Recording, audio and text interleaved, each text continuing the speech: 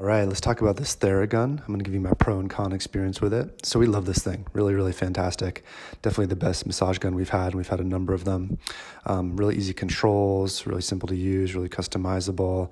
Um, love that it's quite quiet as you use it, which is really great. And, it, you know, you can really get exactly what you want over force and speed. Like it's just really fantastic to get it just the way you want it.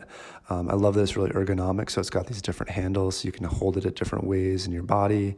And obviously comes with like some great attachments and a great case. Um, it's just really, really fantastic gun. I, I got to say, it's made a huge difference in our bodies and just really, really high quality. Um, so, as I said, really good power, really good quietness, really good customizability. It's just fantastic. So, Hope you enjoy. Happy shopping.